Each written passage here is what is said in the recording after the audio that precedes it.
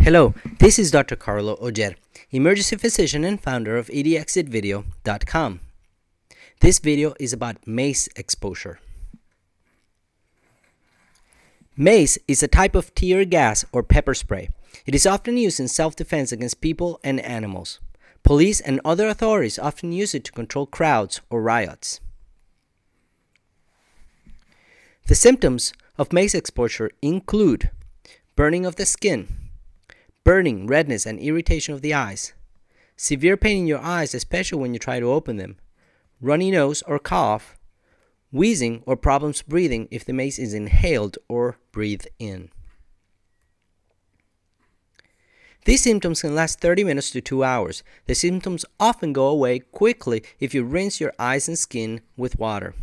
Avoid rubbing your eyes or skin when you have been exposed to mace. The rubbing can worsen the irritation and make your symptoms last longer. If you were exposed to mace and are having troubles with breathing, blurry vision, problems seeing clearly, if your symptoms are getting worse or you have any other problems or concerns that were not there when we first saw you in the emergency department or when you first had the exposure and you're deteriorating, please come to the emergency department for evaluation. No specific follow-up is needed. If we discharge you home after a mace exposure, it was because we determined it was not dangerous. Only if you develop any of the symptoms mentioned in the previous slide will you need any further evaluation.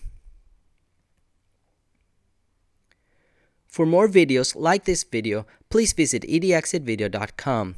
But remember, these are educational videos and should never replace the care or attention of a medical health care professional.